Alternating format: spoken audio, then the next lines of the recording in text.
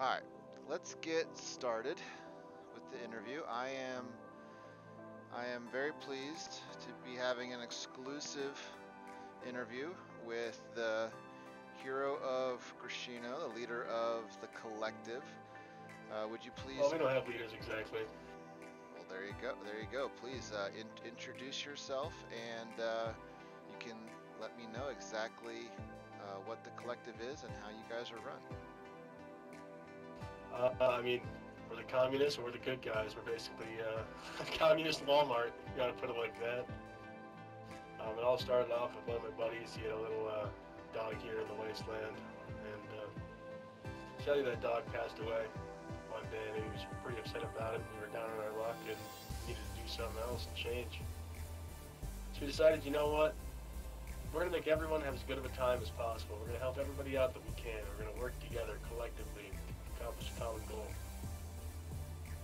Gotcha. And you've definitely worked towards that. I, can- I can tell you guys uh, don't uh, like ranks and such, but they, they do seem to follow you. Uh, what is what is your name for, for the interviews or for the record?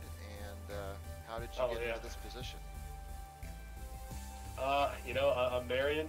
Uh, I guess I'm part. If you wanted to break us down into some sort of power structure, there's a group of four. I guess you'd call us like the, I don't know, the c- committee. If you want to go like that. I'm Merian, the diplomat. Uh, the man to my left is uh, Peter, the commander. There's uh, Henderson, the conscript, and Chase, the rascal. And the four of us being a council. Chase the Rascal. Where does that name come from? Oh, he's just a damn rascal. This is damn rascal.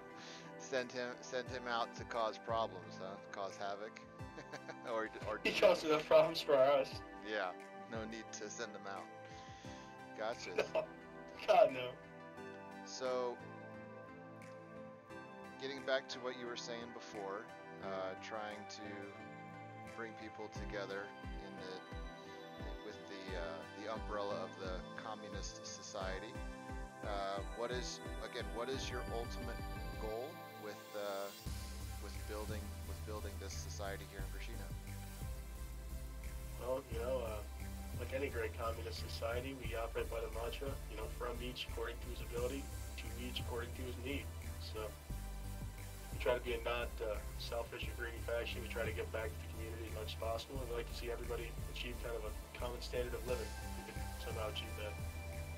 Sounds great. Like every communist communist society has always sounded sounded great. You you wonder why anybody would would go against it, and uh, but it's you know, I've I've heard, and we can touch on this as our next subject. Is you uh, you tend to have gotten some some pushback with uh, your society, um, probably to your own surprise with that kind of mantra.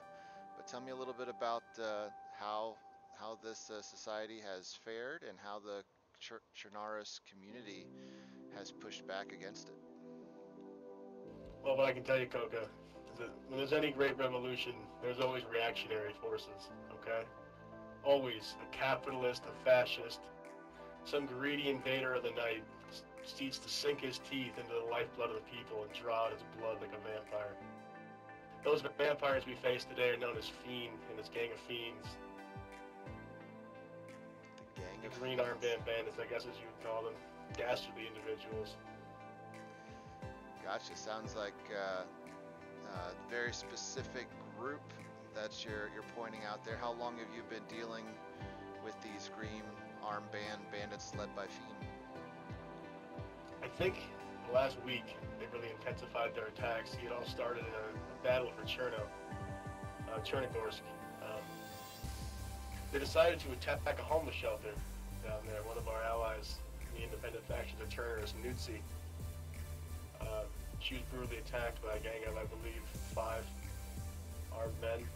Um, and we, in the Order of the Stag, and Nutsi's forces fought them off in a pretty bloody battle down there. I think it was about six casualties for us, four casualties for them the first time.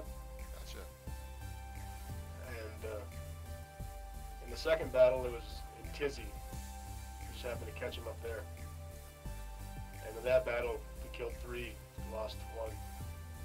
So it sounds like and most recently, sounds like you you reach out beyond the borders of Grishino with this with this mantra of the the communist society. How does that play with the rest of Chernarus? Do they appreciate you uh, trying to spread the the good communist word beyond Grishino? I think I think honestly a lot of them do. Yeah, we have a lot of friends and a lot of allies. Uh, we're known as reputable traders and people that can get things done. Uh, if you're our ally, we have your back. We help you out. I mean, for instance, when um, when Nucci's Ford Falcon was stolen, we immediately just purchased it back and returned it to her. Um, out of the kindness of our hearts, no charge, obviously. We try to watch out for people. I mean, in this community itself, I think we have we just had three new people move in today over by the uh, the barn over there. Nice. That brings us up to I think at least 10, maybe 12 residents. That's not including people in in the collective.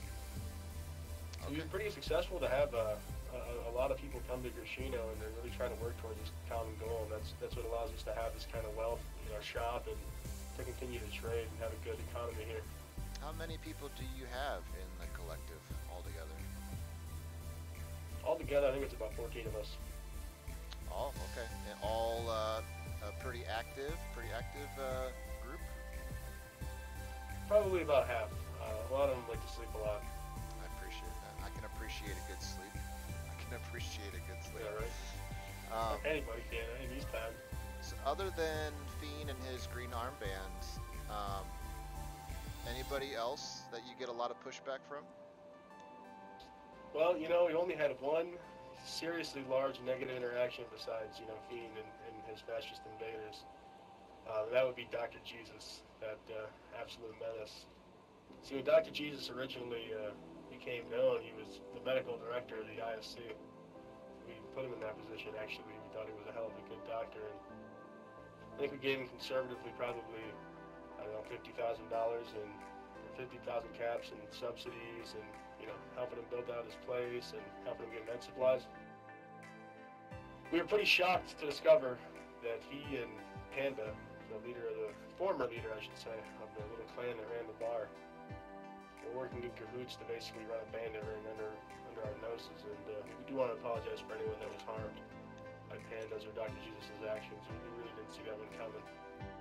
Would you say a, would you say that the the mantra of the the communist uh, society uh, failed you at that point? That it was a, a failure of trust with uh, with Panda? you know, I think communism never fails you. You fail it. Oh, that's You know what I mean? If we stuck to our ideology and they had stuck to our ideology, all would have continued peace and harmony. But they decided to uh, become greedy capitalist dogs, in such a fashion they had to be run out of town like rabid dogs. Has that has that changed how you uh, do business or bring people in at all? Has it changed your um, your process of bringing people into the fold? Yeah, you would think it would, but uh, we still have open arms here in Gachino. Like I say, we just had three new people move in today. Gotcha. We're willing to give anybody a shot, but when you burn us, our relationship is burned. And to, to that point, that's a great segue. Uh, the, burning, you've been, uh, you know, we've been reported in our, our latest issue in the Nosey Newsie that you guys are chasing down Dr. Jesus and Panda uh, as far as all the way up towards Tisy. That uh, that uh, we've seen Panda and Jesus headed that direction, and uh, you guys are chasing them down. Is that correct? I, I don't, I don't want to discuss any ongoing uh, conflicts, or I don't want to endanger any positions where collective op- operators may be acting. But uh, yeah, I will confirm that Panda's Bandits and uh, Dr. Jesus with them seem to have relocated to the northern section of Chernarus as opposed to the south where they originally relocated. Gotcha. So it sounds like it's only a matter of time before we might uh, we might hear about a a conflict between the two of you. I'll be sure to uh, Uh, stay up to date. yeah, you can say the clock's ticking. Sounds good. Sounds good. So I always like to ask people that I interview.